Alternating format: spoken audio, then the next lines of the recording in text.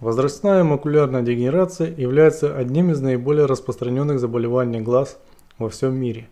Это дегенеративное состояние поражает сетчатку и приводит к потере центрального зрения.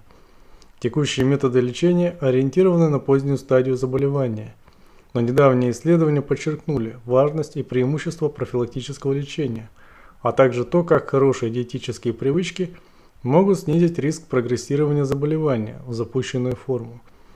В этом контексте в исследовании изучили, способны ли ресвератрол или полифенольный коктейль, а также экстракт красного вина предотвратить инициирующие события возрастной макулярной дегенерации, то есть окислительный стресс и воспаление в пигментном эпителии сетчатки человека.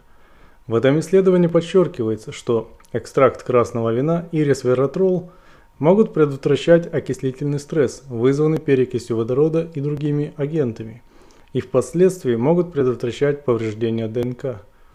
Более того, анализы данных показывают, что экстракт красного вина и ресвератрол могут предотвращать секрецию провоспалительных цитокинов в клетках пигментного эпителия сетчатки человека и макрофагах человека.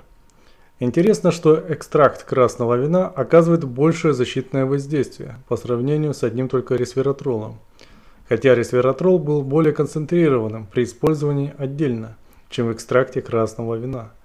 Результаты показывают, что как и экстракт красного вина, так и ресвератрол могут представлять потенциальный интерес в качестве профилактических пищевых добавок против возрастной макулярной дегенерации глаза.